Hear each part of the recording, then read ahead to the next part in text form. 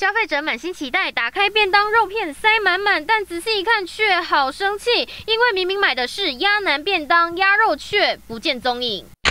打开餐盒，左右是叉烧，中间是烧肉，但明明点的是鸭肉烧腩，鸭肉却不见了。跟店家反映，老板却回：“你的菜有移动过，要调监视器看一下。”居然是质疑客人故意藏肉吗？我没有必要为了那一点点肉凹你这个便当，有点像是在恐吓！你要买就来买啊，不买就算了啊！那是给一星的差评啊，他只能自己理亏啦。民众气炸抛网，便当品相给错，却被店家质疑对便当动手脚，是有必要藏鸭肉吗？只是要一句道歉而已，傻眼呢？是吃炸药吗？店家也火了，最后丢下你爱怎样就怎样，你高兴就好。网友惊呆，可能生意太好不缺客人，版主态度也没有很客气吧？其他客人也抱怨店员语气拽到不行，做错道歉就好，干嘛要狡辩啊？我的也被搞错了。虽然店家后来承认错误，但消费者却已经吃到一肚子气。在嘉义则有民众拍下这照片。